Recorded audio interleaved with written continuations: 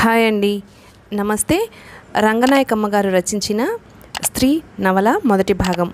ఈ నవల పంతొమ్మిది వందల అరవై ఐదులో రచించారు స్త్రీ మొదటి భాగం. అమ్మా ఒకసారి ఇలా వచ్చి వెళ్ళు. వంటింటి ముందు వరండాలో తచ్చాడుతూ విజయశాస్త్రి చివరికి ధైర్యం చేసి గొంతు పెగల్చుకుని ఆ రెండు మాటలు అనేశాడు. కొడుకు కంఠం విన్న కామేశ్వరమ్మ బయటకు చూడకుండానే అంది. నేను మడిలో ఉన్నాన్రా. జానకొస్తోంది ఏం కావాలో చెప్పు. కాదమ్మా నువ్వే ఒకసారి లేచిరా. అసహనంగా మళ్ళీ పిలిచాడు శాస్త్రి. ఓ క్షణం తటపటాయించి చేతులు కడుక్కుని లేచొచ్చింది కామేశ్వరమ్మ. చేతిలో పేపర్ పట్టుకుని పాలిపోయిన ముఖంతో నిలబడి ఉన్న కొడుకును చూడగానే కాస్త కంగారు పడింది తల్లి. ప్రశ్నార్థకంగా కొడుకు ముఖంలోకి చూస్తూ ఏమిట్రా శాస్త్రి ఎందుకలా పిలిచావు? అంటుంటే మాట్లాడకుండా తెరిచి ఉన్న పేపరు తల్లికి అందించి రెండడుగులు స్తంభంకేసి నడిచి ఎటో చూస్తూ నించున్నాడు శాస్త్రి. కొడుకు వైఖరి అర్థం కాని కామేశ్వరమ్మ అలాగే తెలియని జంకుతో చేతిలో విడమర్చి ఉన్న పేపర్లోకి చూసింది ఎగాదిగా పెద్ద పెద్ద పూలదండలతో కంఠాలను అలంకరించుకుని అతి సన్నిహితంగా నిలబడి ఉన్న వధూవరుల ఫోటోలో స్త్రీమూర్తిని పోల్చగలిగింది వెంటనే. ఇది ఇది పద్మజ కదూ? మన పద్మజ? అప్రయత్నంగా అంటూ కొడుకు కేసు చూసింది. ఏమిట్రా శాస్త్రి? ఏమిటిది? అంది అయోమయంగా.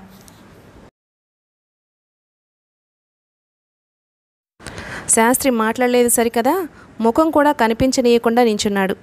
కామేశ్వరమ్మ మళ్ళీ మళ్ళీ చూసింది. పేపర్లో పడ్డ ఫోటో కేసి గుండెల్లో ఏదో దుశ్శంక జర్జరా పాకుతుంటే చటుక్కున రెండడుగులు ముందుకేసి కొడుకు భుజం తట్టి వెనక్కి తిప్పుతూ కంగారుగా అడిగింది. శాస్త్రి మాట్లాడవే మన పద్మ ఫోటో పేపర్లో వేశారెందుకు? ఆ పక్కన నిలబడ్డ కుర్రాడెవరు? నేనేం చదువుకు చచ్చానా? అంటూ నోరు మూసుకుని నించున్న వాళ్ళగా శాస్త్రి ముఖం జేవురించింది. కనుగుడ్లు నిప్పు కణికలయ్యాయి. పళ్ళు పటపటలాడించాడు. ఇంకేం చెప్పనమ్మా? మన బతుకులు బండలయ్యాయి. ఆ పూలదండలు ఆ వ్యవహారం చూస్తుంటే కూడా అర్థం కాలేదా? పద్మజ జార్జ్ విలియమ్స్ అనే ఆంగ్లో ఇండియన్ వాడిని రిజిస్టర్ పెళ్ళి చేసుకుంది. వాడు డాక్టరేనట. శాస్త్రి కెవ్వున కేకపెట్టింది కామేశ్వరమ్మ. ఆందోళనతో ఆవిడ ఒళ్ళంతా వణకసాగింది.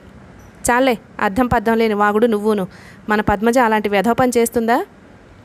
వెర్రివాడిలా చూశాడు శాస్త్రి. కామేశ్వరమ్మ తీక్షణంగా అంది మళ్ళీ. రెండు కళ్ళు పెట్టుకుని చదువు నోటికి ఎంతొస్తే అంత అనేస్తావా? అదేం గొప్ప పని చేసిందని ఫోటో వేశారో కానీ అమ్మా కోపంగా అన్నాడు శాస్త్రి. ఆవిడ దృష్టిలో ఇది కూడా ఘనకార్యమేనని ఫోటో వేయించుకుంది. పత్రికలో అచ్చుపడ్డ సంగతి చదివి నీకు చెప్పానంతే. ఆ పిల్ల మన పద్మజ అయితే అది ఆంగ్లో ఇండియన్ వాడిని కట్టుకున్న సంగతి కూడా నూటికి నూరు పాళ్ళు యథార్థమే. పిచ్చి పట్టినట్లే చూసింది కామేశ్వరమ్మ. పద్మ? మన పద్మ? మనతో చెప్పకుండానే ఇలాంటి పని ఎలా చేస్తుందిరా? నాన్నగారు కుదిర్చిన సంబంధం ఉండగా ఎక్కడో తెల్లవాడిని ఎలా నమ్మేదిరా? బాగా నమ్ముదూలే వెళ్ళి నాన్నగారిని అడుగు. విసురుగా వరండా దిగి వెళ్ళిపోయాడు శాస్త్రి. అయోమయంగా పదే పదే పేపర్లోకి చూస్తూ నిల్చుంది కామేశ్వరమ్మ. అత్తయ్య కుంపటి మీద పోపు మాడిపోతుంది. నేనెలా ముట్టుకునేది? వరండాలోకి వినిపించేలా కంఠస్వరం హెచ్చించి పిలిచింది జానకి వంటింట్లో నుంచి. అప్పటికే కామేశ్వరమ్మ దడదడా కొట్టుకుంటున్న గుండెతో పేపర్ పట్టుకుని పరుగు పరుగున భర్త గది వైపు నడిచిపోయింది. ఏమండి? ఇది విన్నారు? మన పద్మ? ఈశ్వర సోమయాజి నిర్లిప్తంగా చూస్తూ కూర్చునున్నాడు పక్క మీద.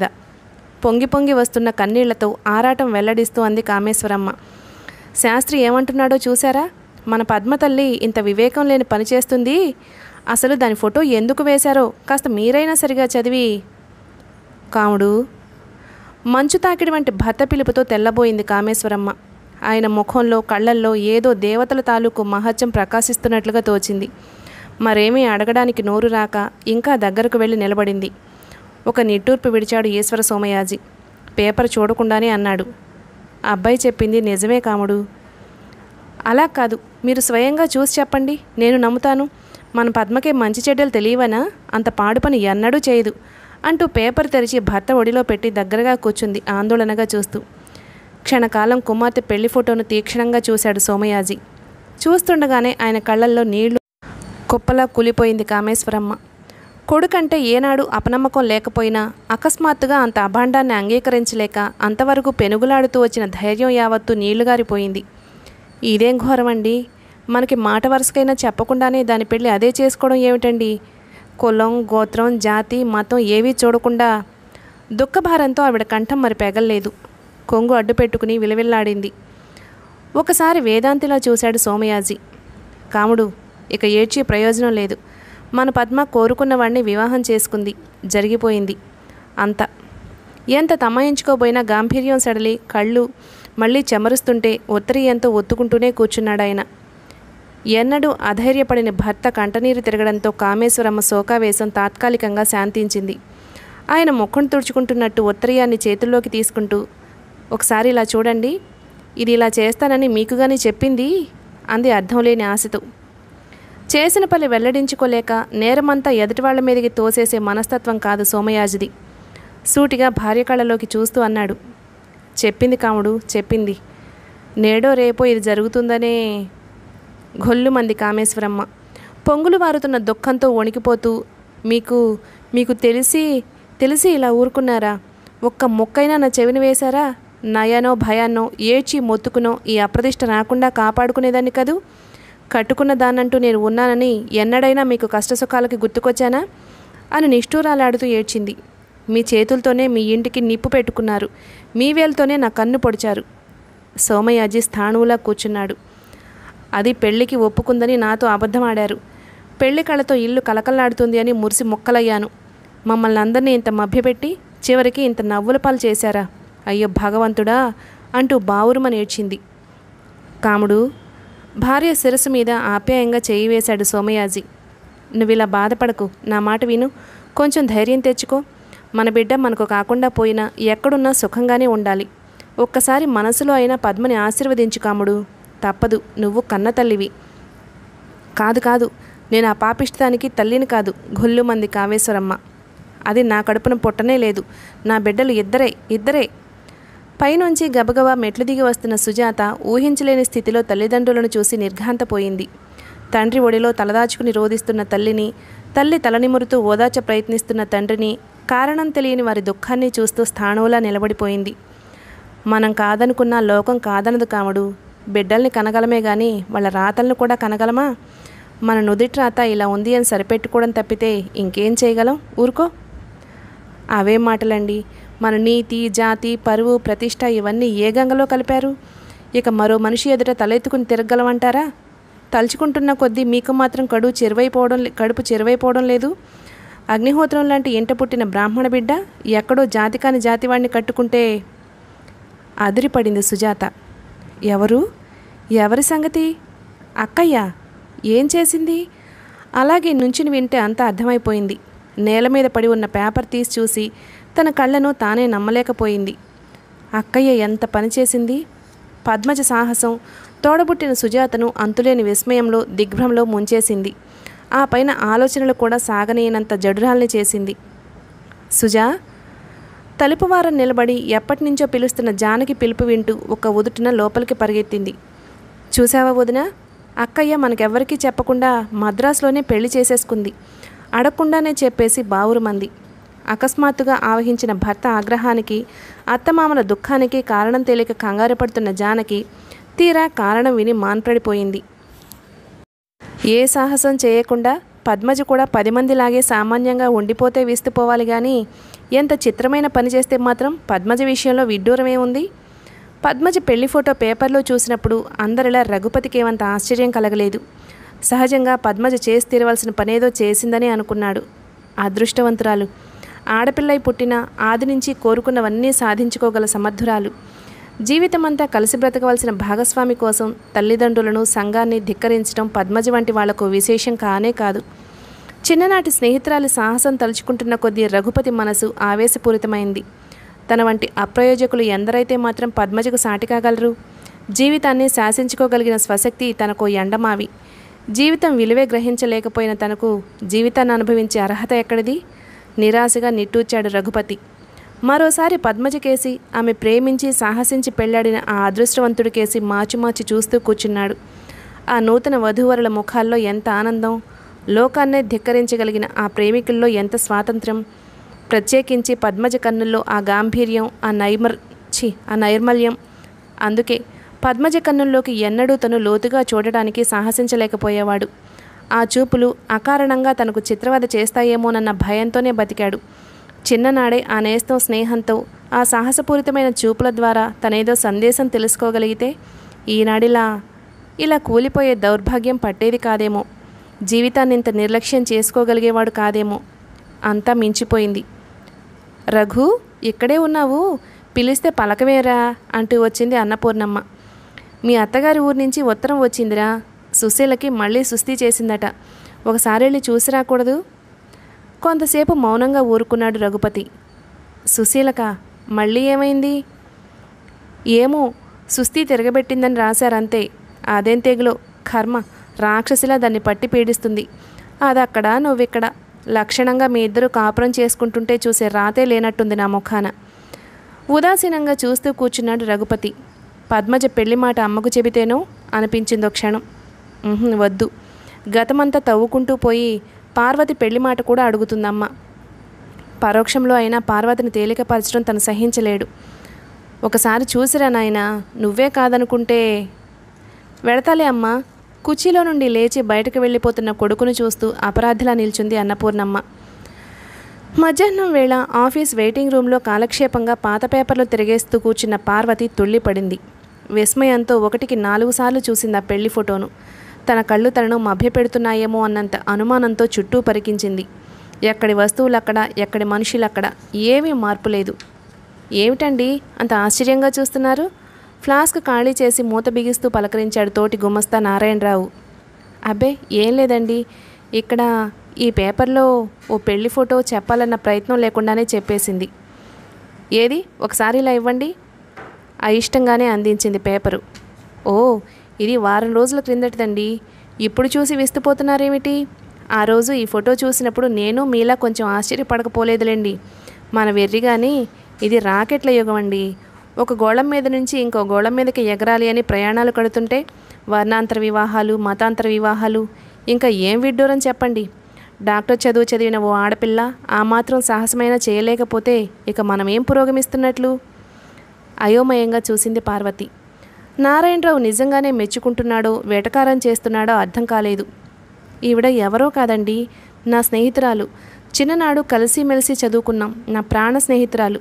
పద్మజ పద్మ. అనేయాలన్నంత తొందర కలిగింది. బలవంతంగా తమాయించుకుంది. పేపర్ అందుకుని మళ్ళీ చూస్తూ కూర్చుంది. పద్మజ అందంగా నిర్లక్ష్యంగా నవ్వుతుంది. అతను జార్జ్ విలియమ్స్ పద్మజ ప్రియుడు. ప్రియుడేమిటి? పద్మజ భర్త. సంతోషంగా చురుగ్గా చూస్తున్నాడు. ఇద్దరికి అందచందాలలో మంచి పొందిక కుదిరింది. ఒకరి కోసమే ఒకరు పుట్టినట్లు ఒకరు లేనిదే మరొకరు లేనట్లు ఆ చూపుల్లో వారి సాన్నిధ్యంలో అనురాగ స్రవంతులు ప్రవహిస్తున్నట్లున్నాయి. చూసిన కొద్దీ చూడబుద్ధి కలుగుతున్న ఆ తన్మయత్వంలో వాస్తవం గుర్తుకొచ్చింది కొంతసేపటికి. పద్మజ ఎంత పనిచేసింది కొత్తగా విస్తుపోయింది పార్వతి. ఈ విషయం మాట మాత్రమైనా ఎన్నడూ అనలేదే. నువ్వు నా ప్రాణాధికమైన నేస్తానివి పారు అనే పద్మ తన ప్రేమ జీవితాన్ని ఇంత మరుగుపరుచుకుందా? ఆఖరికి మాట మాత్రమైనా తెలియనివ్వకుండా పెళ్ళి చేసుకుందా? ఈ విషయం ఇంట్లో వాళ్ళకు కూడా తెలిసుండదు బహుశా. బహుశా ఏమిటి? ఎంత మాత్రం తెలిసుండదు. ముందు తెలిస్తే సుజాత తనకు తప్పకుండా ఉత్తరం రాసేది. అనుకోకుండా పద్మజ ఇలా చేసిందంటే ఆశ్చర్యంగానే ఉంది. పద్మజ సాహసం పార్వతికి ఏమీ కొత్త కాకపోయినా ఈ సంఘటన కొత్తగానే బాధిస్తుంది. ఇష్టాలను చంపుకుని మనస్సులను మభ్యపెట్టుకుని చేజేతుల జీవితాలను ఎలా నాశనం చేసుకుంటారో నాకు అర్థం కాదు పారు అంది పద్మజ. రఘు పెళ్ళి కొడుకై తరలి వెళ్తున్న రోజు. రఘు మీద కోపంతో అలా ఆవేశంతో మాట్లాడిందేమో అనుకుందే కానీ నిజంగా చేతలకు వస్తే ఇంత సాహసం ప్రదర్శించగలదని లీలగా అయినా ఊహించలేకపోయింది. పద్మజ ఇలా చేయకుండా ఉంటేనే బాగుండేదేమో సంఘం ఎంత సంస్కరణ పొందుతున్నా కాలం ఎంత రాకెట్లమయమైనా పద్మజ పుట్టి పెరిగిన బ్రాహ్మణ కుటుంబంలో ఏ ఆచారం మాసిపోయింది? పద్మజ తల్లిదండ్రులు పాటించే నియమనిష్టల్లో ఏది కొరవడింది? పార్వతికి తెలిసినంత వరకు పద్మజ పుట్టింటికి పుట్టింటిని గురించి ఒక మాటలో చెప్పాలంటే నిప్పుని నీళ్ళతో కడిగి శుద్ధి చేసేటంతటి ఆచారం. ఆ ఇంట తరతరాలుగా వస్తుంది. ఈశ్వర సోమయాజి తాత యజ్ఞయాగాలు చేసి సోమయాజి అయ్యాడట. తండ్రి శుద్ధ బ్రాహ్మణ పండితులను శ్రోత్రియ కుటుంబీకులను విశేషంగా ఆదరించాడట జీవితమంతా. ఇక సోమయాజి ఎంత ఇంగ్లీష్ విద్య అభ్యసించి తహసీల్దార్ ఉద్యోగం సంపాదించినా నెత్తి మీద పంచశిఖల్లో ఓ శిఖని పవిత్ర బ్రాహ్మణ్యానికి గుర్తుగా పెంచుకుంటూనే ఉన్నాడు. తాను ముప్పూటలా సంచవాచటంతో పాటు ఏకైక పుత్రుడు విజయశాస్త్రికి కూడా ఆ ఆచారాన్ని విధిగా సంక్రమింపచేశాడు. తాతల నాటి రక్తం నర నరాన ప్రవహిస్తున్న శాస్త్రికి బ్రాహ్మణ్యం మీద మహాగౌరవం. తొమ్మిదేళ్ళ నాడే ఒడుగు చేసుకుని తల్లిదండ్రులతో పాటు బంధుకోటినంత భిక్ష అడుక్కుని శ్రోత్రియ బ్రాహ్మణుడిగా అర్హత సంపాదించుకున్నాడు. క్రిమినల్ లాయర్గా ఊరు వాడ మంచి పేరు సంపాదించిన శాస్త్రి గాయత్రి జపించి సంధ్య వాచితే కానీ పీటల మీద కూర్చోడు. పాతికేళ్ళ క్రితం ఆ ఇంటి కోడలిగా అడుగుపెట్టిన కామేశ్వరమ్మ చిమ్మ చీకటిలో శిరస్సు మీద చన్నీళ్ళు దిమ్మరించుకుని పట్టుపంచి చుట్టపెట్టుకుని మడిగా శుద్ధిగా వండి వాచని రోజు లేదు. కంచెలు తొంగ్ కంచెంబు తొంగచాప దగ్గర జరుపుకుని వాకిట చేరినప్పుడు ముచ్చటగా మూడుసార్లు బాలెంతరాలై పురిటిగది విడిచి రానప్పుడు తప్ప ఆవిడ ఆచార వ్యవహారాలకు ఏనాడు ఆటంకం రాలేదు. సూర్యుడు నడినెత్తి మీదకెక్కి కడుపు కరకరలాడుతున్న భర్త సుష్టుగా తిని లేచిన ఎంగిలి కంచంలో తప్ప మరోచోట ముద్ద ఎత్తలేదు. ఇక ముందు మరిన్ని తరాల వరకు కూడా తమ ఇంట ఆ నియమనిష్ఠులు అలా నిర్విఘ్నంగా కొనసాగిపోవాలనే ఆ ఇల్లాలి కాంక్ష కూడాను. అదేం చిత్రమో? ఈశ్వర విలాసమో? అన్నిటికీ అతీతంగా పుట్టింది ఆ ఇంటి ఆడపడుచు పద్మజ? పది పన్నెండేళ్ళ వరకు కూతురి తత్వాన్ని పసితనంగా నిర్లక్ష్యం చేసిన తల్లిదండ్రులు అప్పటికి ఆ పిల్ల మీదో ఏ ప్రత్యేకమైన అభిప్రాయం ఏర్పరచుకోక తప్పలేదు. పెంకిఘాటం ఇంటా వంట లేని రాలుగాయి అనుకుని చూసి చూడనట్లే ఊరుకుంటూ వచ్చింది తల్లి. గడుస్తల్లి. తాతగారి పట్టుదల నాన్నగారి తెలివితేటలు అక్షరాల అబ్బాయి. మనం ఎలాగో విసర్జించలేని ఈ పాత ఆచారాలు దాని నెత్తిని కూడా రుద్దాలంటే రుద్దకుండా ఉంటే మహాబాగు అనుకున్నాడు తండ్రి గారాభంగా. భోజనం ముందు కూర్చుని మంత్రాలేవో ఉచ్చరిస్తూ పుడిసెడు నీళ్ళు గుటక వేసి కంచం చుట్టూ నీళ్ళు చిమ్ముతున్న శాస్త్రిని చిన్నతనంలో ఓసారి నవ్వుతూ అడిగింది పద్మజ. ఎందుకన్నాయ్? నువ్వెప్పుడు ఇలా చేస్తావు? ఇది మన బ్రాహ్మణ నియమం. చేసి తీరాలి. దీనివల్ల ఏం ప్రయోజనం ఉంటుంది? ఏదో ఉంటుంది. లేకుండా మన పూర్వులు ఎవ్వరూ పెట్టుండరు. నిజంగా అదేమిటో నీకు తెలీదు? అయితే నేను చెప్పనా? కుతూహలంగా చూస్తూ అంది పద్మజ. కంచం చుట్టూ నీళ్ళు చిమ్మి చోటు తడిగా చేస్తే చుట్టుపట్ల పాకే సూక్ష్మక్రిములేమీ ఆహారంలోకి రాలేవట.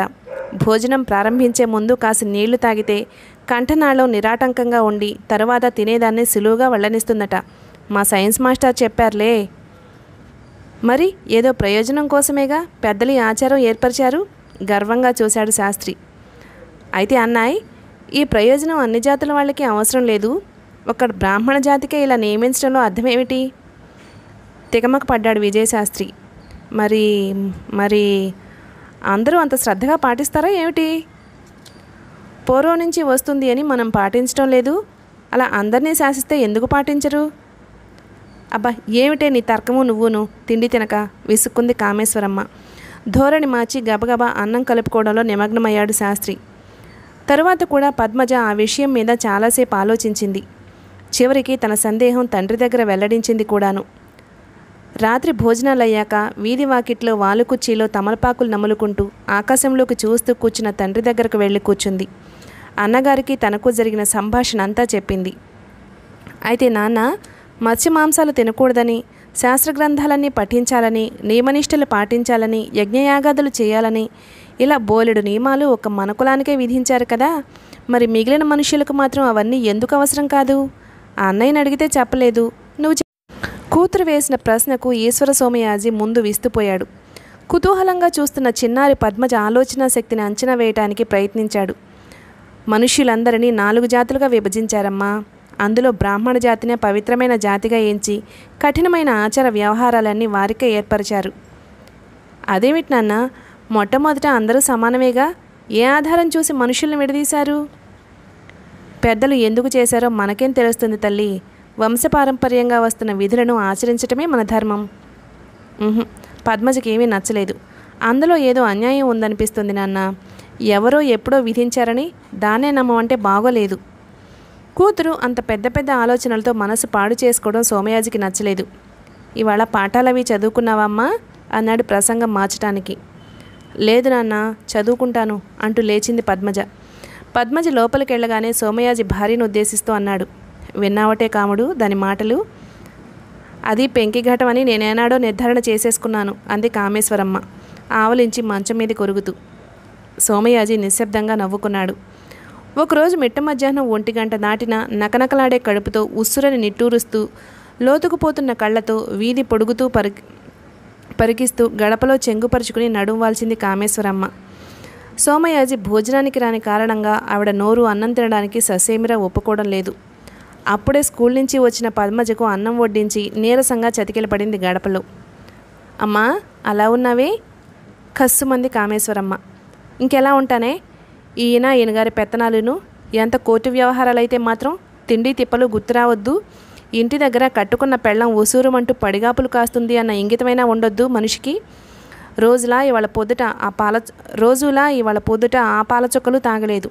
రాత్రి ఉపోషం అవనే అయింది.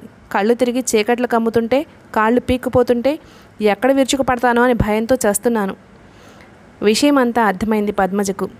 నాన్న తిని ఇవ్వాల్సిన ఎంగిలి కంచం కోసం అమ్మ అన్నం తినకుండా కూర్చుంది. అలా ఎంతసేపైనా కూర్చుంటుంది. నాన్న ఏ కేసు పరిష్కారంలో నిమగ్నమై ఉన్నారో ఏమో. తిండి తినక ఏమిటి అలా ఆలోచిస్తావు? నీకు చెప్పాలనుకుంటేనే మర్చిపోయానే అమ్మ. నాన్న ఓ గంట కిందట జట్కాలో వెళుతూ స్కూల్ దగ్గర నాకు కనిపించారు. ఏమిటి? జట్కాలో వెళ్తున్నా నేను డబ్బులు అడగడానికి పరిగెత్తుకెళ్ళాను. ఊరెళ్తున్నానని నీకు చెప్పమన్నారే? నిజంగానే?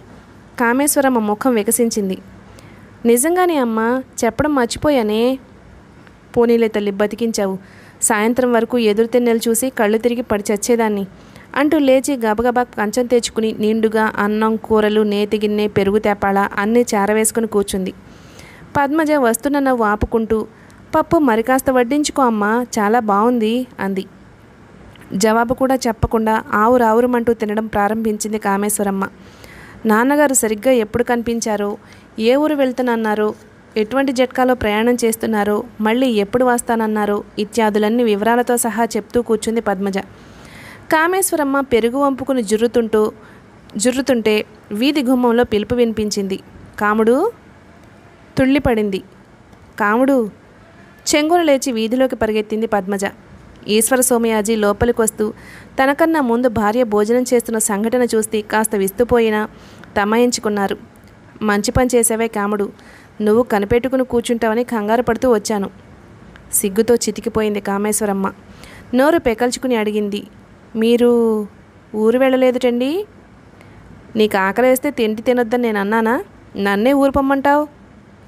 జట్కాలో వెళ్తూ పద్మకి కనిపించి చెప్పారని పెళ్ళుమంటూ నవ్వాడు సోమయాజీ. అయితే ఇది పద్మ చేసిన పని అన్నమాట పోనీలే ఇప్పుడు ఏం మించిపోయింది? రోజు నా ఎంగిలి కంచంలో నువ్వు తినడం లేదు. ఈ పూట నీ ఎంగిలి కంచంలో నాకు వడ్డించు. కామేశ్వరమ్మ కళ్ళల్లో గిర్రును నీళ్ళు తిరిగాయి. పాపిష్టిదాన్ని ఆకలిగొట్టుదాన్ని చస్తానో ఏమిటో అనుకుని కంచెడు కంచెడుకుడు మింగి కూర్చున్నాను. నా తిండి మాసిపోను నా కడుపు విచ్చిపోను అని తిట్టిపోసుకుంటూ కూర్చుంది. ఆ రామాయణం అంతా తర్వాత. ముందు నాకు వడ్డించు. సోమయాజి నూతి దగ్గర కాళ్ళు కడుక్కుని సంధ్య వాచుకోవడానికి కూర్చున్నాడు. తండ్రి భోజనం చేస్తుంటే పిల్ల పిల్లలా దగ్గర చేరింది పద్మజ. తల్లి పెళపెళా తిరుగుతుంటే పకపక నవ్వుతూ కూర్చుంది. చూడు నన్నా ఎంతసేపు అన్నం తినకుండా ఉంటే జబ్బు చేయదు అమ్మ తినకుండా కూర్చుంటే నాకు మాత్రం ఎన్న అన్నం ఎలా సహిస్తుంది? నేను అలా అబద్ధం ఆడితే తప్ప ఏమిటి? ఏం తప్పులేదమ్మా మంచి పని చేసావు ఏమిటా మంచి పని? ఇన్నాళ్ళకి నా నియమం నాశనం చేసింది. తలుచుకుంటేనే నా కడుపంతా దేవుతుంది అంటూ గోల పెట్టింది కామేశ్వరమ్మ. ఆడవాళ్ళు తినకుండా కూర్చుంటే మగవాళ్ళు వేళ పట్టుకు ఇంటికి వస్తారని ఈ నియమం పెట్టారు నాన్న. అంతే కదూ? చిరునవ్వు నవ్వాడు సోమయాజీ. అఖండురాలివమ్మ నువ్వు. నీ ఆలోచనలన్నీ చిత్రంగానే ఉంటాయి. అమ్మ మీద నీకు అంత ప్రేమ ఉంటే వేళకి భోంచేసి ఆరోగ్యం కాపాడుకోమని చెప్పరాదు. ఎప్పుడు పడితే అప్పుడు ఆహారం తీసుకోకూడదని మా సైన్స్ మాస్టర్ చెప్పారు. విస్మయంగా చూశాడు సోమయాజి. పద్మజ కన్నా తనెంత మూర్ఖుడు? నీరసాలతో అనారోగ్యాలతో సతమతమవుతున్న భార్య విషయంలో కనీసపు బాధ్యత కానీ సానుభూతి కానీ ప్రకటించలేకపోయాడన్నాడు. తను తిని విడిచిన ఎంగిలి కంచంలో వడ్డించుకుంటున్న భార్యను మహాపతివ్రతగా తలుచుకుని గర్వపడ్డాడు. పవిత్ర బ్రాహ్మణ జాతికి పరువు ప్రతిష్టలతో అలరారే తమ కుటుంబానికి తన భార్యమణి తన భార్య మణిపూసలా మెరిసిపోవాలి అని దురాశపడ్డాడు. ఇంతకాలం ఒక్కసారి కూడా భార్య కష్టసుఖాలు నానా కోపం వచ్చిందా?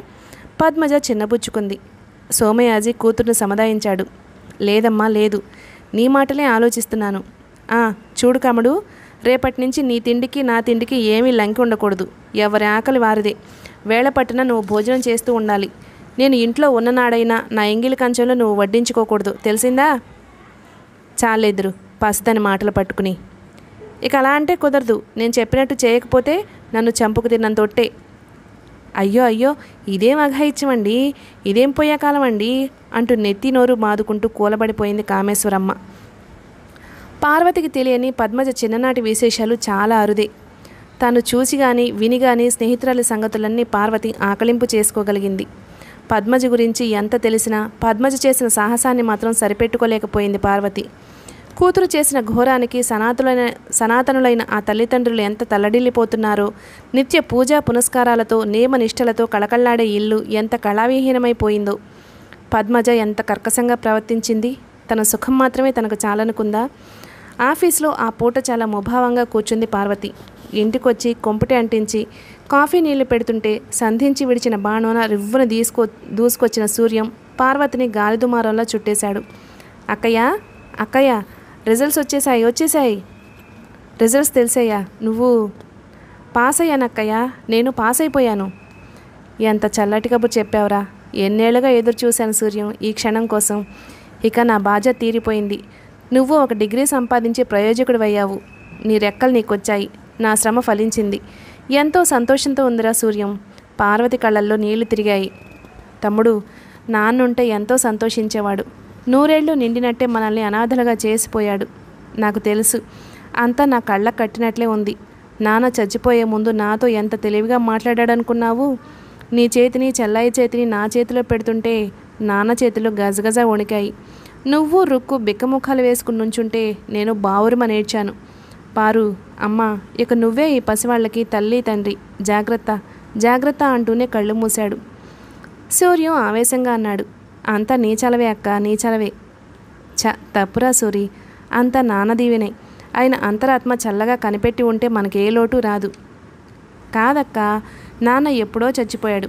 నీ కష్టాజితంతోనే చదివి డిగ్రీ సంపాదించా నేను. ఇదంతా నీ భిక్ష. కన్నీళ్ళతో నవ్వింది పార్వతి. మరి పిచ్చివాళ్ళ మాట్లాడుకు. నేనేం పరాయిదన్నట్రా? నీకు భిక్ష పెట్టడానికి? నా తోడబుట్టిన వాళ్ళని నేను పెంచుకోక వదిలేసుకుంటానా? అమ్మా నాన్న చచ్చిపోతే మాత్రం ఆ అక్కయ్యను నేను ఊరుకుంటానా? కాదక్క అలా కాదు. నువ్వు చెప్పింది ఏం బాగలేదు. నీకు అస్సలు స్వార్థం లేదు. విస్మయంగా చూసింది పార్వతి. రెట్టించాడు సూర్యం. అవును నీకు స్వార్థమే లేదక్కా. చిత్రంగా నవ్వింది పార్వతి. నాకు స్వార్థమే లేదు. ఉన్నదంతా స్వార్థం కాదు. తన బాధ్యత తను గొప్పగా నిర్వర్తించాలని తాపత్రయపడటం స్వార్థం కాదు. మన సంతృప్తి కోసం తలబెట్టిన కార్యాన్ని సాధించి జయించడం స్వార్థం కాదు. నాకు స్వార్థమే లేదని ఎవరైనా పొగిడినప్పుడంతా నాలో నేనే పొంగిపోవడం స్వార్థం కాదు. స్వార్థం మరెలా ఉంటుంది సూర్యం? అదేమో నాకు తెలియదు నువ్వు ఎన్ని చెప్పినా నేను ఒప్పుకోను. నీకు స్వార్థం ఉంటే ఇలా చేసేదానివి కాదు. మరి ఎలా చేసేదాన్ని? నాకే స్వార్థం ఉంటే ఏమయ్యేది? కుతూహలంగా చూసింది పార్వతి. ఓ క్షణం సూటిగా చూశాడు సూర్యం. నువ్వు ఎప్పుడూ అలాంటి దానివి కాదు. నిజంగా నీ మీద లేని బాధ్యత నీకై నువ్వు మీదేసుకున్నావు.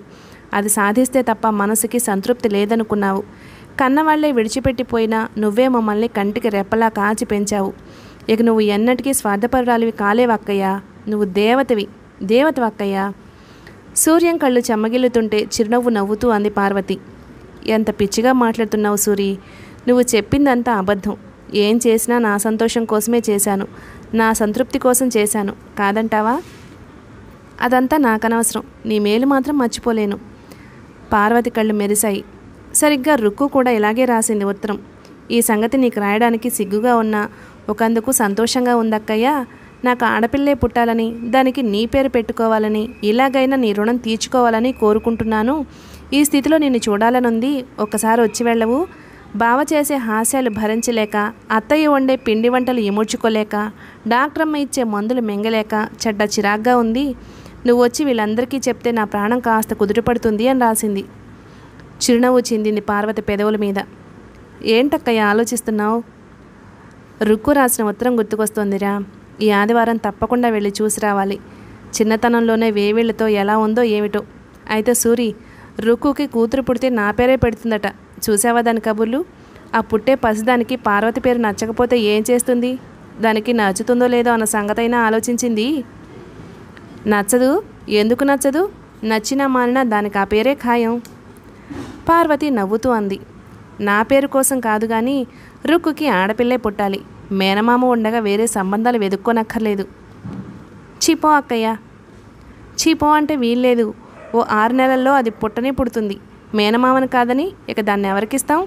ఇద్దరికీ మంచి ఈడు జోడును. మహా అయితే ఓ ఇరవై ఏళ్ళ వ్యత్యాసం. ఏమంత లెక్కలోంది కాదు. ఆడపిల్ల ఎంతలో ఎదిగొస్తుంది? పక్కుమని నవ్వేసింది పార్వతి.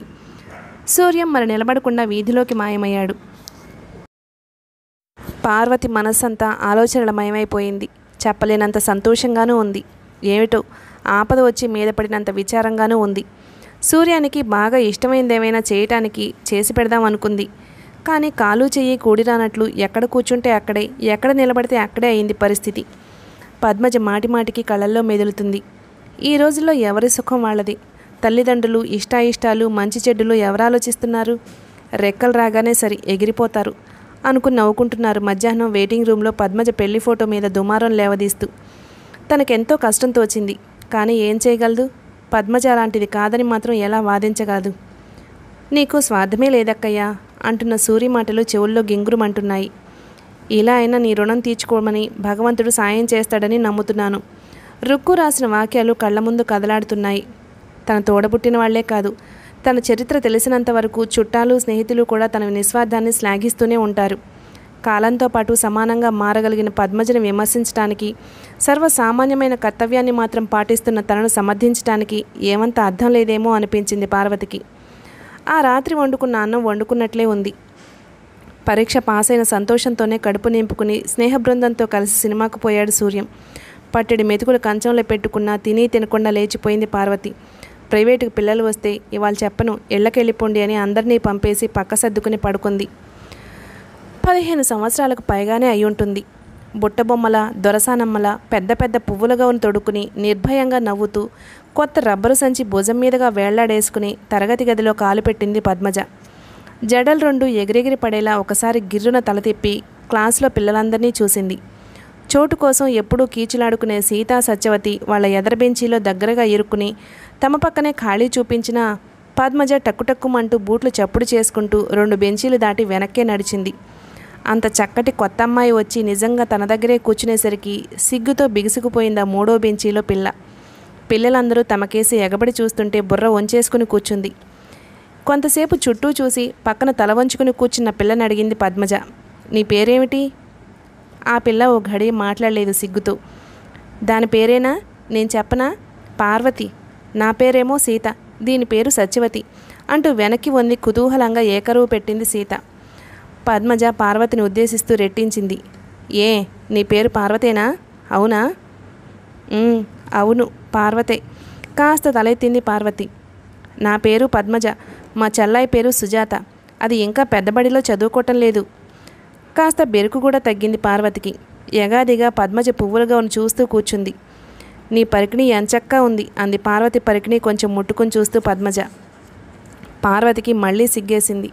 తన పరికిణి ఏం బాగుండదని పరు పరుపుగళ్ళలా వెడల్పాటి చారెలు అదీను. నీ పరికిణి కొత్తదా? అంది అమాయకంగా చూస్తూ పద్మజ. పాతదే. చిరగను కూడా చిరిగింది. అంటూ కుచ్చెళ్ళలో వెదికి పట్టుకుని రెండు మూడు కుట్లు కూడా చూపించింది పార్వతి. తొందరగా మాసిపోకుండా ఉంటుందని ఈ గళ్ళ పరికిణి కుట్టించింది మా అమ్మ. నీ గౌనే బాగుంది ఎంచక్క పెద్ద పెద్ద పువ్వులు అవిను. కుతూహలంగా అడిగింది పద్మజ. మరి నీకు కొత్త పరికిణి లేవు?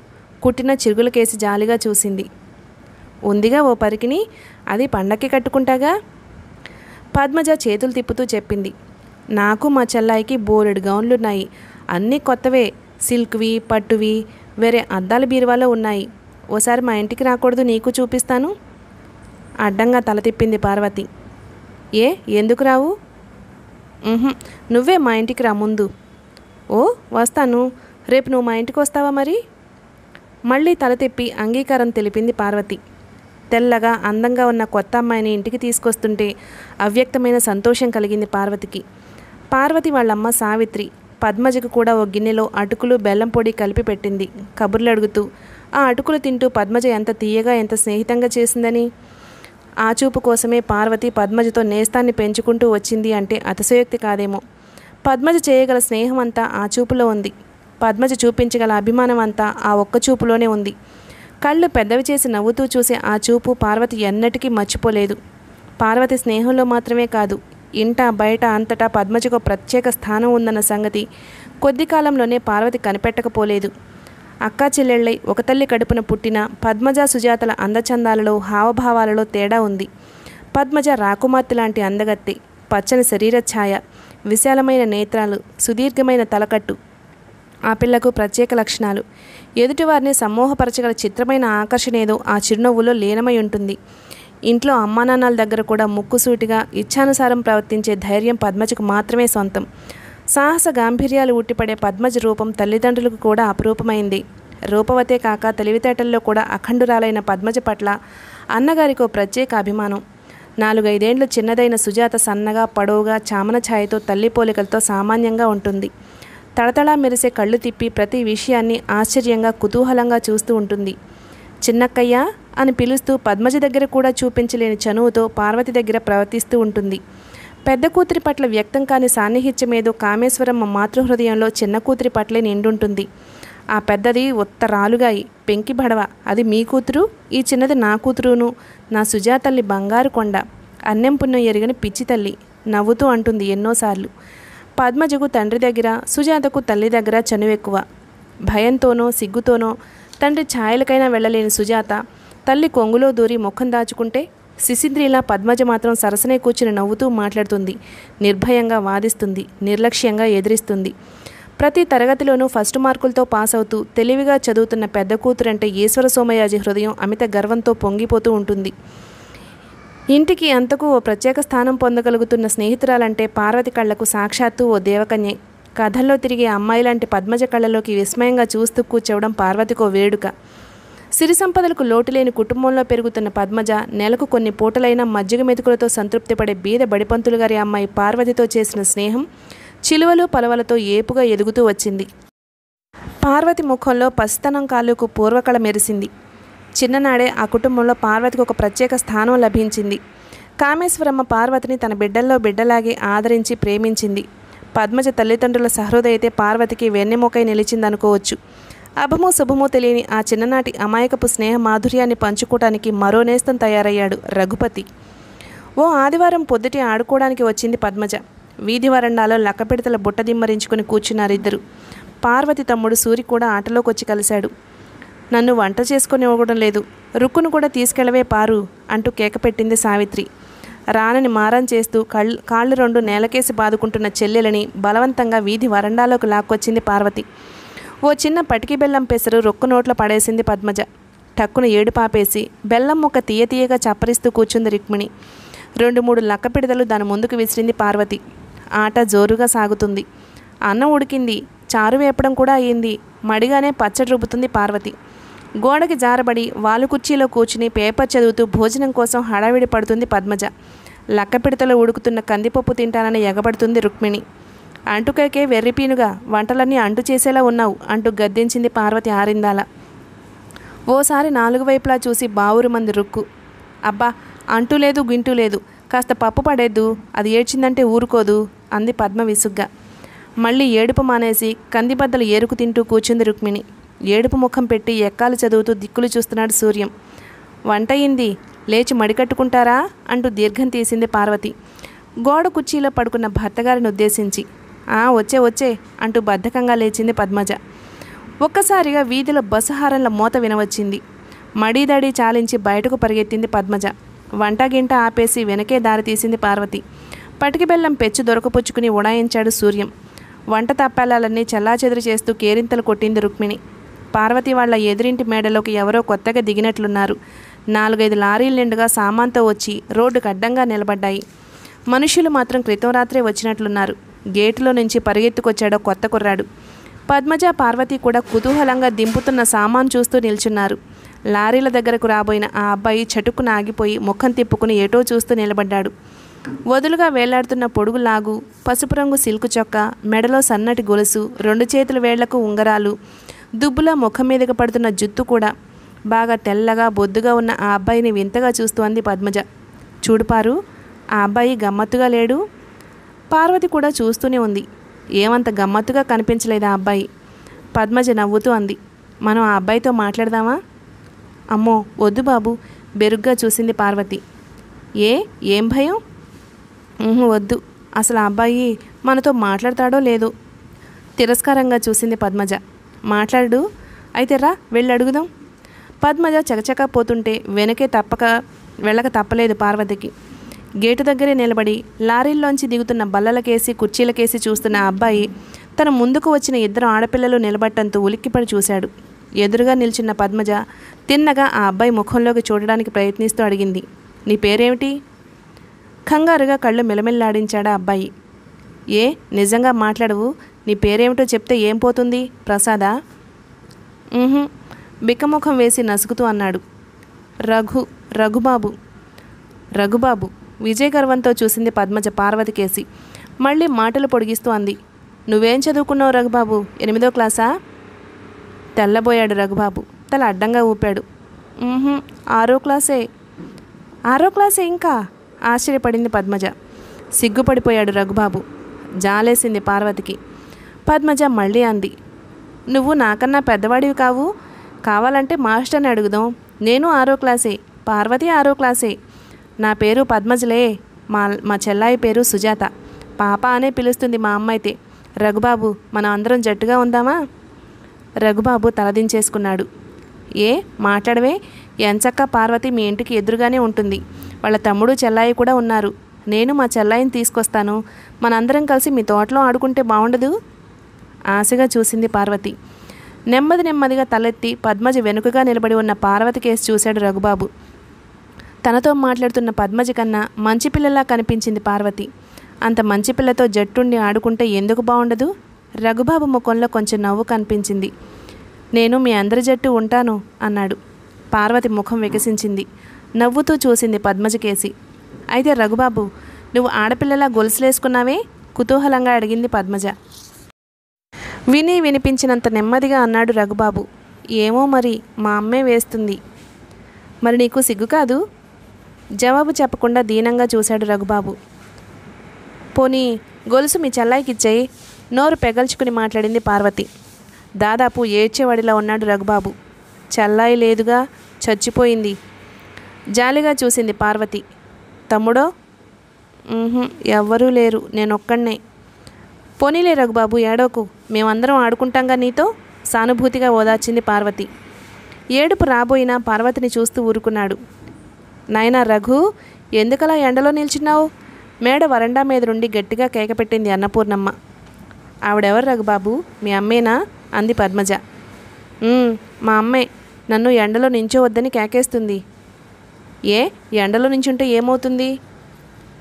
జబ్బు చేయదు విస్మయంగా చూశాడు రఘుబాబు. జబ్బు చేస్తుందా? మరీ విస్మయంగా చూసింది పద్మజ. వానలో తడిస్తే జలుబు చేస్తుంది కానీ ఎండలో నిల్చుంటే ఎందుకు జబ్బు చేస్తుంది? అయితే నువ్వు ఎండలో బడికెళ్ళి రావు. మా నాన్నగారు బడికి పంపించరుగా ఇంటి దగ్గరే ప్రైవేట్ చదువుకుంటాను. ఆశ్చర్యంగా చూసింది పార్వతి. బడికెళ్తే కూడా జబ్బు చేస్తుందా నీకు? జాలిగా అడిగింది పద్మజ. అస్తమాను జవాబు చెప్పాలంటే విసిగేసింది రఘుబాబుకు. మాట్లాడకుండా నిల్చున్నాడు. లోపలికి రా నాయన రఘుపతి మళ్ళీ కేకపెట్టింది అన్నపూర్ణమ్మ. మనం ఇంటికి పోదామా పద్మ? అంది పార్వతి. రఘుబాబు కొంచెం ధైర్యంగా పార్వతి ముఖంలోకి ఆశగా చూశాడు. ఒకసారి మా ఇంట్లోకి రాకూడదు. మా అమ్మకి ఆడపిల్లలంటే చాలా ఇష్టం. ఆ ఆహ్వానం కోసమే ఎదురు చూస్తున్న దానిలా ముందే దారి తీసింది పద్మజ. సామాన్ సర్దుకుంటున్న హడావిడిలో ఉన్న అన్నపూర్ణమ్మ ముచ్చటేస్తున్న ఆడపిల్లలను చూసి సంబరంగా పలకరించింది. పార్వతి ఎదురింటి అమ్మాయి అని తెలుసుకుని దగ్గరకు తీసుకుని తల కూడా నిమిరింది. రోజు వస్తూ ఉండమ్మ మా ఇంటికి అంది నవ్వుతూ. కాసేపు మేడంతా చూసి వచ్చేస్తుంటే ఇద్దరిని వెనక్కి పిలిచి చెరువు లడ్డు ఇచ్చింది. ఆ లడ్డూలు నేతివాసన వస్తూ కమ్మగా ఉన్నాయి. కొంచెం కొరికి మిగతాది పరికిణీలో దాచుకుంది పార్వతి. ఏ తినవు? మా రుక్కుకి సూరికి ఇస్తాను. అయితే నా లడ్డూలో పెడతాను నీకు అంటూ పద్మజ సగం ముక్క విరిచి పార్వతికి ఇచ్చింది రఘుబాబు కూడా ఓ లడ్డూ తింటూ ఎండలోకి రాకుండా వరండా మీదే నిల్చున్నాడు. పద్మజ పార్వతి చెవిలో నోరు పెట్టి రహస్యంగా అంది. రఘుబాబు పిరికివాడు కదూ? పార్వతి ఏదో మాట్లాడే లోపునే నేను పోతున్నానోయ్ రేపు మళ్ళీ వస్తానుగా? అంటూ రోడ్డు మీదకి పరుగు తీసింది పద్మజ. వెనక్కి తిరిగి ఓసారి రఘుబాబు కేసు చూసి చటుక్కున తలదించుకుని రోడ్డు దాటి ఇంట్లో జరబడింది పార్వతి. ఎండవేళ కాసేపు పడుకోకూడదటే పారు ఎందుకలా కొరివిలా కూర్చున్నావు? అప్పటికి నాలుగైదు సార్లైనా పిలిచింది సావిత్రి. అన్నం తిన్న దగ్గర నుండి ఎదర మేడకేసి చూస్తూ వీధి అరుగు మీదనే కూర్చుంది పార్వతి. తల్లి కేకలతో అయిష్టంగానే కదిలి లోపలికెళ్ళి రుక్కు పక్కనే పడుకుంది చాప మీద. కళ్ళు బలవంతంగా మూసుకున్నా ఉండటం లేదు. వాటంతటా అవే తెరిపిళ్ళు పడి సూటిగా పైకప్పు కేసి చొచ్చుకుపోతున్నాయి. ఎత్తుగా పైన దూలాల నిండా బూజు సాలెగుళ్ళు గాలికి సన్నసన్నగా రాలుతున్న దుమ్ము. అమ్మా మన ఇల్లు బాగోలేదు కదే? పాత చీర కుట్టుకుంటున్న సావిత్రి సూదిగుచ్చటం ఆపుచేసి విచిత్రంగా చూసింది. ఏ ఎందుకు బాగాలేదు? ఎంచక్క మేడలాగా లేదుగా? ఇదేమిటో? ఇవాళ కొత్తగా కబుర్లు పుట్టుకొస్తున్నాయి. నిజమేనమ్మా రఘుబాబు వాళ్ళ మేడ పద్మజ వాళ్ళ మేడ కన్నా బాగుంది రఘుబాబు ఎవరు చటుకుని లేచి కూర్చుంది పార్వతి. మన ఇంటి ముందు మేడలోకి కొత్తగా రాలా? పొద్దున బొరుడు కుర్చీలు అవి వచ్చాయి. వాళ్ళ కుర్రాడా ఏమిటి? వాళ్ళ ఇంటికి ఎప్పుడు వెళ్ళావు? పద్మజ కూడా వచ్చింది. వాళ్ళ అమ్మ ఎంత మంచిదనుకున్నావు? ఓ లడ్డు ఇచ్చింది తినడానికి. రుక్కుకి సురికి కూడా పెట్టాను. బాగుంది పొద్దుట వచ్చారో లేదు అప్పుడే వాళ్ళ ఇంటి మీదకి ఎగబట్టం ఏమిటి? వాళ్ళేం చిరాకు పడతారు? మరెప్పుడు వెళ్ళకు పార్వతి సంతోషం అంతా చచ్చిపోయింది. మళ్ళీ ఇంటి కప్పుకేసి చూస్తూ పడుకుంది. పోనీ నిద్ర రాకపోతే లేచి చదువుకోరాదు? ఎందుకలా గుట్లు అప్పగించి చూస్తావు? కూతురు వైఖరి కనిపెట్టి అంది సావిత్రి. గమ్మున లేచి సంచి తెచ్చుకుని కూర్చుంది పార్వతి. సాయంత్రం నీరెండలో సన్నజాజి పందిరి కింద కూనిరాగం తీస్తూ పువ్వులు మాలకడుతూ కూర్చున్న తల్లి దగ్గరకు నెమ్మదిగా చేరింది పార్వతి. ఇవాళ పువ్వులు చాలా పూసాయి కదమ్మా. రోజు శ్రద్ధగా నీళ్ళు పోయేవే అంటూ వింటున్నావు. మరిన్ని పోసేవి పూసేవిగా? రేపటి నుంచి తప్పకుండా పోస్తానమ్మా. పోసావులే. మళ్ళీ కూనిరాగం అందుకుంది సావిత్రి. అమ్మా ఏ ఏమిటా నసుకుడు? పువ్వులు చాలా ఉన్నాయి కదమ్మా. రఘుబాబు వాళ్ళ అమ్మకి కాసిన ఇస్తేనో? రఘుబాబు ఎవరే? ఎదర మేడలోకి వచ్చిన వాళ్ళ? అవునమ్మా. పొదుట ఓ లడ్డు కూడా ఇచ్చింది వాళ్ళమ్మ. పోని తీసుకెళ్దుగానిలే మాల కట్టని. పార్వతికి బ్రహ్మానందమైంది. మాల పూర్తయ్యే వరకు పువ్వులు పేచి అందిస్తూ కూర్చుంది. చిక్కగా కట్టిన మాల ఓ జానడి తెంచి మెత్తటి అరిటాకులో చుట్టించింది సావిత్రి. నలపకుండా జాగ్రత్త తీసుకెళ్ళిచ్చిరా తొందరగా రా. పార్వతి అప్పటికే రోడ్డు దాటేసింది. అరిటాకు పొట్లం అపురూపంగా పరిక్రీలో చుట్టుకుని బెదురుబెరుగ్గా చూస్తూ గేటు దాటి వీధి గుమ్మం ముందు మెట్ల దగ్గరికి వెళ్ళి నిలబడిపోయింది పార్వతి. బయట ఎవ్వరూ కనిపించలేదు. ఒక్కదానికి లోపలికి వెళ్ళే సాహసం లేదు. అలాగే నిలబడింది ఆశగా లోపలికి చూస్తూ. వీధి గేటు ముందు జట్కా ఆగింది. చలపతిరావు దిగి లోపలికి వస్తూ మెట్ల దగ్గర తలదించుకుని నిలబడి ఉన్న పార్వతిని చూశాడు. ఎవరమ్మా పాప నువ్వు? ఏం కావాలి? భయంతో బిగుసుకుపోతున్న ధైర్యం తెచ్చుకుని పరికిణీలో చుట్టి తెచ్చిన పొట్లను తీసి చూపిస్తూ తడబడుతూ చెప్పేసింది పార్వతి. మా అమ్మ పువ్వులు పువ్వులు రఘుబాబుకి ఆహా రఘుబాబు అమ్మగారికి నవ్వాడు చలపతిరావు. వెళ్ళమ్మా ఇంట్లోకి. ఒరే రఘు రఘు అంటూ మెట్లెక్కుతూ కేకపెట్టాడు వెనకాలే నడిచింది పార్వతి. పరిగెత్తుకొచ్చిన రఘుబాబు పార్వతిని చూసి ఆశ్చర్యపడ్డాడు. ఈ పాప పువ్వులు తెచ్చిందిరా మీ అమ్మకి లోపలికి తీసుకెళ్ళి అమ్మ దగ్గరికి? రఘుబాబు సంతోషంగా చూశాడు పార్వతి కేసి. తలదించుకుంది పార్వతి. అమ్మా అమ్మా పార్వతి నీకు పువ్వులు తెచ్చిందే అంటూ సంబరంగా అరిచాడు రఘుబాబు. అన్నపూర్ణమ్మ నవ్వుతూ ఎదురొచ్చింది. సిగ్గు సిగ్గుగా అరిటాకు పొట్లం అందించి నిలబడింది పార్వతి. అన్నపూర్ణమ్మ పొట్లం విప్పి సన్నజాజుల మాల చూసింది. విచ్చి విచ్చకుండా పుష్టిగా ఉన్న ఆ మొగ్గలను అందంగా ఆ మాల కట్టిన నేర్పును చూస్తుంటే ఆవిడకి ఎంతో ముచ్చటేసింది. ఎక్కడివి పాప ఈ పువ్వులు మా దొడ్లోనే పూసాయండి. ఎవరు కట్టారు ఈ మాల? మా అమ్మే కట్టిందండి. అలాగా మీ అమ్మగారు చాలా అందంగా కట్టారు. అయితే మా నువ్వు ఉంచుకున్నావా పువ్వులు?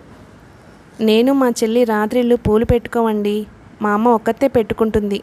మాకు పొద్దుటే జడలు వేసి పెడుతుంది. అవును మరి చిన్నపిల్లలు పగలే పువ్వులు పెట్టుకోవాలి. చలపతిరావు బట్టలు మార్చుకుని లోపలికి వచ్చాడు చూసారా ఎంత చక్కటి పూలదాండ తెచ్చిందో ఈ పాప. మాల భర్తకు చూపించింది అన్నపూర్ణమ్మ. ఎవరమ్మాయి పూర్ణం ఈ పాప? మన ఎదురింటి వాళ్ళమ్మాయే. నాన్నగారు పేరు పార్వతి. వివరాలు చెప్పేశాడు రఘుబాబు. మీ నాన్నగారు ఏం చేస్తుంటారమ్మా పార్వతి? మా బడిలోనే మాస్టర్ అండి. ఆహా అలాగా? అయితే పూర్ణం మన రఘుకి మరెవరినో వెతుక్కోవడం దేనికి? ఈ మాస్టర్ని అడిగి చూస్తే సాలోచనగా చూశాడు చలపతిరావు. సరే ఆలోచించుకుని అడుగుదాంలేండి. కంగారేముంది అంది అన్నపూర్ణమ్మ. పార్వతి ఎదుట ఆ ప్రసంగం ఎత్తడం ఇష్టం లేనట్లు. వాళ్ళు మాట్లాడుకున్న మాటలు ఏమంత పార్వతికి అర్థం కాలేదు. నేను వెళ్తానండి అంది నెమ్మదిగా. ఒక నిమిషం అలా కూర్చో అమ్మా. వెళ్దుగాని అంటూ అన్నపూర్ణమ్మ ఓ అరడజన అరటిపళ్ళు కాగితంలో చుట్టి తెచ్చింది. అప్పుడప్పుడు వస్తూ ఉండు పాప. ఆ పొట్లం అందుకోకుండా సంశయంగా చూసింది పార్వతి. వద్దండి మా అమ్మ కేకలేస్తుందేమో. నవ్వింది అన్నపూర్ణమ్మ. పార్వతిని ఒప్పించి అరటిపళ్ళిచ్చి గేటు దాటించి వెనక్కి తిరిగి కుదురైన పిల్ల చూస్తుంటే ముచ్చటేస్తుంది అంటూ వచ్చింది. రఘుబాబుకి ప్రైవేటు మాస్టారిగా ఆ ఇంట అడుగుపెట్టిన పార్వతి తండ్రి రామనాథం మాస్టారు అనతి కాలంలోనే చలపతిరావుకు సన్నిహితులయ్యారు. మాస్టారి పట్ల చలపతిరావు వెల్లడించే అభిమానం చూస్తే ఆయన హృదయంలో అంతస్తుల భేదం అనే జాఢ్యం లేనే లేదనిపిస్తుంది. ఈ సంవత్సరం నుంచి రఘుపతిని స్కూల్కే పంపించాలి అనుకుంటున్నాను మాస్టారు అన్నాడు చలపతిరావు ఓ రోజు. నేను ఆ విషయమే మీకు చెప్పాలి అనుకుంటున్నాను నన్ను అపార్థం చేసుకోకపోతే ఒక్క మాట. మన గారాభం పసివాళ్ళ భవిష్యత్తుని పాడు చేసేదిగా ఉండకూడదు చలపతిరావు గారు. చిన్నతనంలో లోకాన్ని తెలుసుకొనివ్వకుండా పెంచితే పెద్దవాళ్ళైనా వాళ్ళు ఏమంత ప్రయోజకులు కాలేరు. చలపతిరావు ఆవేదన వెల్లడిస్తూ అన్నాడు. అయ్యో గారాబం చేయటం కాదండి. మా దురదృష్టం కొద్దీ పరిస్థితి అలా వచ్చింది. ఏడవ ఏట జామ చెట్టెక్కి ఆడుకుంటూ కొమ్మ విరిగి కింద పడ్డాడు. ఆ పడటంలో పైకి దెబ్బ తగిలినట్లు కనిపించకపోయినా బుర్రలో నరాలేవో దెబ్బతిన్నాయన్నారు డాక్టరు. వరుసగా కొన్ని నెలలు కా రాయిలా పడిపోయాడు. మళ్ళీ తేరుకుని మనిషి అయినా ఇక వాడిలో పూర్వపు చురుకుతనం తెలివితేటలు అన్నీ మాసిపోయాయి. కుర్రాడే పూర్తిగా మారిపోయాడు. చదువన్నా బడన్నా బొత్తిగా ఆసక్తి లేకుండా పోయింది. బలవంతం చేసి బడికి పంపించడం మంచిది కాదని కొన్నేళ్ళ నుంచి ఇలా ఇంట్లోనే ప్రైవేటు చెప్పిస్తున్నాను. పది మంది పిల్లలతో చేరి ఆడుకోవడం కూడా వాడికి ఏమంత ఇష్టం ఉండదు మాస్టారు. అంతా విన్న రామనాథం మాస్టారు సానుభూతిగా అన్నారు. పిల్లవాడి విషయంలో ఇలా జరగడం చాలా కష్టం సుమండి. అదృష్టవశాత్తు మనిషి మనిషిలా అయినా దక్కాడు. ఇక మీదట పర్వాలేదు. నెమ్మదిగా స్కూల్లో చేర్పిస్తే నేను జాగ్రత్తగా చూస్తూ ఉంటాను. క్రమంగా చదువు మీద ఆసక్తి అదే పుడుతుంది. అదే నేను అనుకుంటున్నానులేండి. ఇక్కడికి వచ్చాక వాడి విషయంలో నేను చాలా మార్పు వచ్చిందని అనుకోవాలి. మీ పార్వతి ఆ తహసీల్దార్ గారి అమ్మాయి మీ వాడు తోటలో చేరి ఆటలు కూడా ప్రారంభించారు. నెమ్మదిగా వాడిలో మార్పు వస్తేనే చాలని. మీరేం బాధపడకండి చలపతి గారు. రఘుపతి చదువు సంచలన్నీ నేను చూసుకుంటాను. జీవితంలో ఎన్నెన్నో కష్టనిష్ఠురాలు ఎదుర్కోవాలి అంటారు పెద్దలు. మీకు తెలియనివి కాదనుకోండి. అలా మరి కాసేపు సాగిందా సంభాషణ. నాలుగైదు రోజులకోసారైనా తీరిక చేసుకుని ఆ ఇద్దరు పెద్ద మనుషులు పిచ్చాపాటి చెప్పుకోకపోతే నిద్రపోలేని పరిస్థితికి వచ్చారు స్నేహం అనడానికి వీల్లేని ఆ అనుబంధం ఏదో చిత్రమైన అనురాగాలను పెంచుతూ వచ్చింది. రఘుబాబు పుట్టినరోజు వేడుక. సావిత్రిని అన్నపూర్ణమ్మను కూడా ముఖాముఖి పరిచయం చేసింది. ఒంటి మీద ఎక్కడా ఖాళీ లేదనిపించేలా ఒంటెడు నగలు పెద్ద పెద్ద జరీ పూలున్న ఎర్ర పట్టుచీర ముడి చుట్టూ ఒత్తుగా కనకాంబరాలు పాదాలకి పచ్చగా పసుపు పూత అనుకోకుండా ఎంట అడుగుపెట్టిన పేరంటాలను చూసి తొట్టుపడింది సావిత్రి. ఆవిడ వెనకే నిలబడి ఉన్న రఘుపతిని చూడటంలో మాత్రం కొంత ఊరట కలిగించింది. అమ్మా అమ్మా రఘుబాబు వాళ్ళ అమ్మగారు వచ్చారే అంటూ పిల్లలు సంబరంగా అరుస్తుంటే ఉన్న అనుమానం కూడా తీరిపోయింది. కంగారుగా చాపపరుస్తూ రండి రండి నిలబడిపోయారు రండి అంటూ ఆహ్వానించింది. అన్నపూర్ణమ్మ చాప మీద కూర్చుని సంగతంతా చెప్పింది. మీ ఇంటికి రావాలని ఎప్పటికప్పుడే అనుకుంటూ బద్దకించేశాను వదిన గారు అంటూ సంభాషణకు ఉపక్రమించింది. ఆ వదినగారు అన్న సంబోధన సావిత్రికి చాలా ఇంపుగా తోచింది. బొత్తిగా అతిశయం లేని మనిషి అనుకుంది. మనస్ఫూర్తిగా నవ్వుతూ అంది. దానికే ఉందిలేండి. నేను ఎన్నోసార్లు అనుకున్నాను. ఈ పిల్లలతో ఇంటి పనులతో తీర్చేస్తేనా మన ఆడవాళ్ళకి ఇల్లే కైలాసం కదా? అవుననుకోండి. అయినా కాస్త ఇరుగు పొరుగు అంటూ రాకపోకలు లేకపోతే ఎంతకాలం గడుస్తుంది? రేపు మా వాడి పుట్టినరోజు. కొత్తగా వచ్చిన ఊరు. ఎవరున్నారు పిలవడానికి? కాస్త ఈ వీధిలో అయిన నలుగురిని పిలిచి వెళ్దామని బయలుదేరాను. మీరు తప్పకుండా రావాలి సుమా వదినగారు. అయ్యో ఎంత మాట? తప్పకుండా వస్తానండి. మీకేమైనా పనిపాటలో సాయం కావాలన్న నిర్మోహమటంగా నాకు చెప్పండి. అంత మాట అన్నారు అదే చాలు. ఈసారి ఏమంత వేడుకగా చేయాలి అనుకోవటం లేదండి. అన్నపూర్ణ ముఖం నిండా విచార రేఖలు అలుముకున్నాయి. కిందటి సంవత్సరం సరిగ్గా ఈ రోజుల్లోనే మా అమ్మాయి ఏడెనిమిదేళ్ళ పిల్ల. టైఫాయిడ్ జ్వరం వచ్చి పోయింది వదిన గారు. ఆ దుఃఖంతో గడిచిన పుట్టినరోజు ఎలాగో చేయలేకపోయాము. ఈసారైనా వాడి నెత్తి మీద పది మంది పేరంటాళ్ళ చేత నాలుగు అక్షింతలు వేయిద్దామని బుద్ధి పుట్టి నిన్ననే ఈ మాట కాస్త మీ అన్నయ్య గారితో చెప్పాను. నలుసులా మిగిలినవాడు వీడొక్కడే. ఎన్ని కానుపుల కన్నా దక్కించుకోలేకపోయాను దౌర్భాగ్యురాల్ని. సావిత్రికి చాలా జాలేసింది. అయ్యో అలా విచారించకండి వదిన గారు. భగవంతుడు ఏం చేసినా ఆమోదించడం తప్పితే మన చేతుల్లో ఏముంది? అంది ఓదార్పుగా. మీ పార్వతిని చూస్తే నాకెంతో ముచ్చటగా ఉంటుంది. ఆడపిల్ల తిరగని ఇల్లు ఏమిల్లు చెప్పండి? మా పార్వతిని మీ ఇంట్లోనే అట్టే పెట్టేసుకోండి. మాకు రుక్మిణి ఉందిగా అన్నపూర్ణమ్మ దిగులు మరిపించి కాస్త కబుర్లలో పెట్టాలనే ఉద్దేశంతో నవ్వుతూ అంది సావిత్రి. ఎన్ని కాయలు కాస్తే మాత్రం చెట్టుకు బరువంటారా? అంటూ లేచింది అన్నపూర్ణమ్మ. కుంకుమ భరణ తీసి సావిత్రికి బొట్టు పెట్టింది. భరణ ముయ్యబోతూ మళ్ళీ జ్ఞాపకం వచ్చిన దానిలా పార్వతి నొసట కూడా కుంకం దిద్దింది. ఎగబడుతున్న రుక్కు ముఖాను కూడా ఓ పెసర అంటించి ముద్దు పెట్టుకుంది. అన్నట్టు చెప్పడం మర్చిపోయాను. రేపు మీ పిల్లల ముగ్గురు మా ఇంట్లోనే భోజనం చేస్తారు వదిన గారు. మరి పంపించక తప్పదు అని రెండు అడుగులు ముందుకు వేసిన అన్నపూర్ణమ్మ ఆగి నిలబడి. మీరు అడిగితే నేను కాదంటానా? కానీ ఈ కుర్ర కుంకలతో ఎందుకండి మీకు శ్రమ? శ్రమైనా తప్పదు. అది నాకు సంతోషంగానే ఉంటుంది. మరొస్తాను. రేపు మర్చిపోరుగా అంటే రోడ్డు మీదకి నడిచింది. మర్నాడు పేరెంటం అయ్యాక కూడా సావిత్రి అన్నపూర్ణమ్మ దగ్గర కూర్చుని గంటసేపు కబుర్లతో గడిపింది. ఆ ఆడంగుల కబుర్లలో అత్తవారిళ్ళు పుట్టినవారిళ్ళు పెళ్ళిళ్ళు కాపురాలు చుట్టాలు వంశాలు గోత్రాలు సమస్తం దొర్లిపోయాయి నేల మీద చిందిన పాదరసం బొట్లలాగా. అయితే మా వెంకటాద్రి తాతగారు మీ వేలు విడిచిన మేనత్త గారికి బంధువేనంటారా? ఎంతసేపు చెప్పరే మరి? మీరు నిజంగానే నాకు వదినగారు అయ్యారే ఆశ్చర్యంగా గొంతు పెద్దది చేసుకుంది అన్నపూర్ణమ్మ. ఏమండో విన్నారు?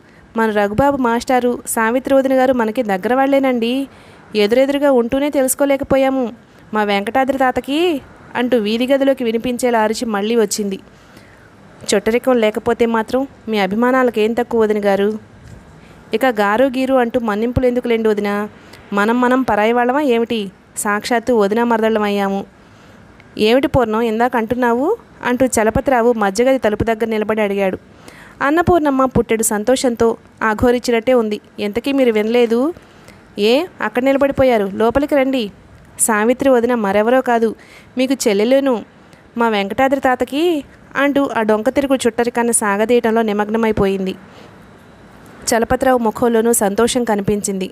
ఆహా అలాగా? బావగారు వీధి గదిలోనే కూర్చున్నారు. ఈ కబురు కాస్త చెప్పేస్తాను అంటూ హడావిడిగా వెళ్ళిపోయారు. అమ్మా మాస్టర్కి పలహారం ఇస్తానన్నావు కదమ్మా అంటూ వచ్చాడు రఘుబాబు. ముందు లోపలికి పిలిచి పంచలు చాపిచ్చి దండం పెట్టరా తర్వాత పలహారం వడ్డిద్దు అంటూ తాంబూలం చుట్టడానికి లేచింది అన్నపూర్ణమ్మ. నిన్న నీ పుట్టినరోజు పండగట కదా రఘుబాబు పార్వతి వాళ్ళని పిలిచావట నన్ను కూడా పిలవలేదే? నిలదీసి అడిగినట్లే అడిగింది పద్మజ.